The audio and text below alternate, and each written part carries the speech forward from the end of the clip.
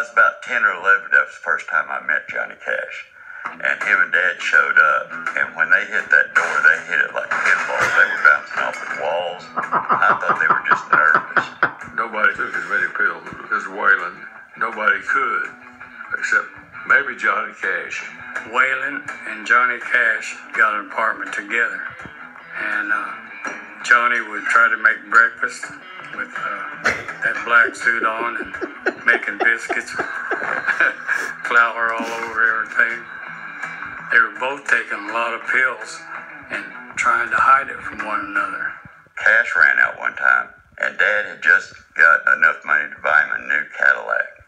And Cash just knew that he had some pills hidden in the glove box or in behind the whole dashboard. And he went out there and didn't have keys or nothing, tore into the car, tore that side of the console completely out.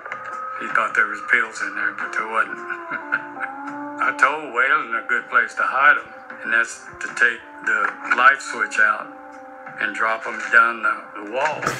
So he did that. And he come back to me later and he said, Well, how do I get them out? I said, Well, you got to knock a hole in the wall down at the bottom. when you really want them, you got to do that.